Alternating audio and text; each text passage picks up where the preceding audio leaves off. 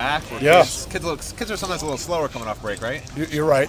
Um, probably don't have uh, the blood, you know, pumping to their muscles and uh, through the heart and everything as, as much over the last nine days. Um, but they got a little workout in yesterday to get them going, and uh, I thought we responded well. You know, uh, a lot of short yardage, backed up, goal line, things like that today. So I thought they did a good job. I saw Brandon Linder go by. Uh, something. How's he doing? Yeah, he's got a little knee. Um, we'll hold him out here for uh, a little while and see. Uh, it doesn't it's not going to require surgery or anything, but we'll see. Uh, you know what his status is, but he'll be out for a little bit here.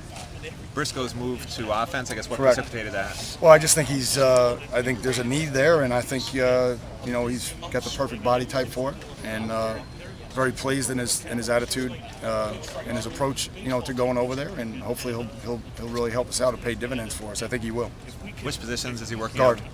Yep. Uh, Eddie Johnson is. What's his status right now? Well, he's. I mean. Uh, he, you know, he's not enrolled right now, so we'll see. Uh, we'll see what transpires in the future for him. I, I really have no idea. Uh, we're not really discussing it at this moment.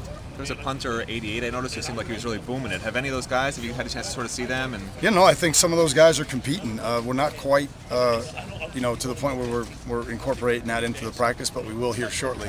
Uh, in fact, maybe even Thursday. So uh, we'll start giving them a little pressure and, and uh, see who can respond. But uh, we get that uh, most of that stuff done before practice right now, but we'll start incorporating it into the practice. How's Beau Sandland look these practices? Doing good. You know, he's just got to uh, he's got to get a little bit more comfortable with his inline blocking. You know, on the line of scrimmage.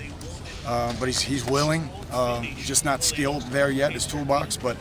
Uh, he's a big man. He's got uh, very soft hands. He's smart and he can get down the field. So, Have you noticed the addition with him and, and Standish pushing, really pushing Asante and Clive? oh, I don't think there's any question. Uh, Jake O'Donnell too. They're, they're, uh, Jake has uh, his previous two practices were really good. So, there's a good uh, nucleus of guys that are pushing, and uh, obviously Asante uh, and Clive have really responded to this point. you've been texting Coach Larrañaga a little bit. Congratulations and stuff like that, or you know, Well, yeah, I mean, but I mean, ha- does that? He says you guys help him.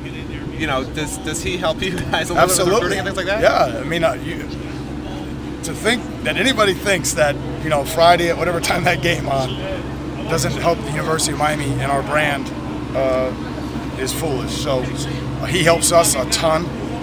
Uh, the the energy uh, that the students and uh, the fans and our alums provided in these home basketball games has been phenomenal, and uh, I think it's it's why we're off to a fast start in recruiting.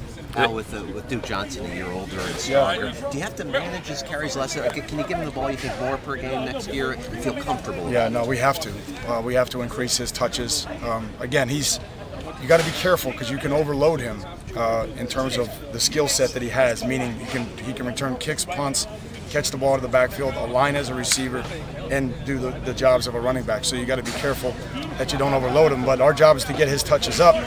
And really, in the spring, we'll probably just keep his touches. You know, I, I don't want to say to a minimum, but to a very comfortable number because we want to see what Dallas and, uh, and Danny uh, can do. And, and uh, both of them had very, very productive days today, so I was happy about that. Anybody surprising you this spring? Oh, there's a whole lot. You know, that's really, uh, Mike, that, that's a good question. Maybe Thursday, so I have some time to really think about it.